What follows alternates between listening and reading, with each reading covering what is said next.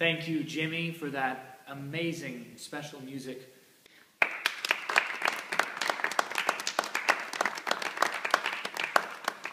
Wow, fabulous. Good morning, congregation. Uh, for the past few weeks, we've been talking about marriage. Specifically, we're going to be talking about today responsibilities within the marriage. Responsibility. It's a word we don't like to talk about a lot. But you might say, Pastor, I don't mind the responsibilities that I have to my wife. I don't mind the responsibility to see that she's dressed well every day.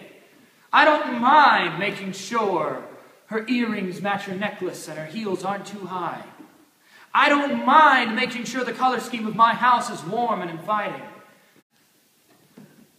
But I'm willing to bet you don't enjoy the responsibility you have to procreate with your wife. That's because procreation after the fall was intended to be a punishment for mankind. It is. It is a punishment. There's my wife. Take a look at her.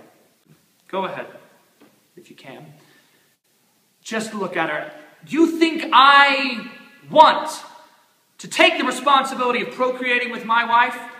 No, no. The thought of it repulsed me. I, I, I did. I thought of it. I pictured it.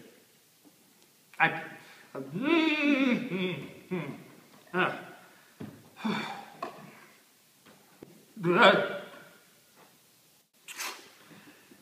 Where was I?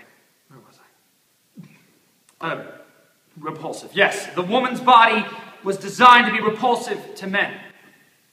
But, however, no one enjoys the responsibility of procreation. No one, no one.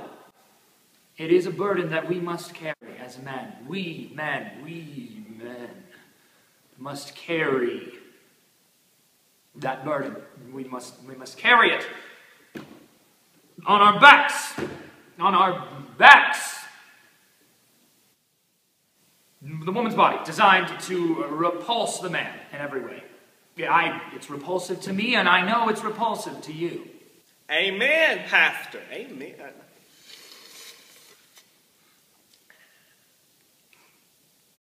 Rude